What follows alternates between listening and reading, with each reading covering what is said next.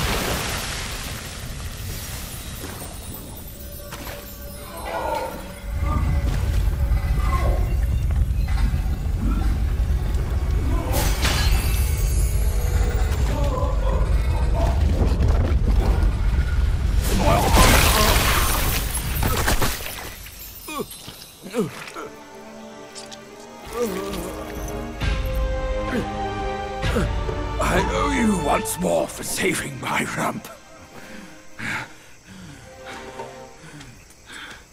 My belly's not too vile, is it? I'm not a meat eater after all. I hope it didn't repulse you. Well, you fetched it. It wasn't all that bad, eh?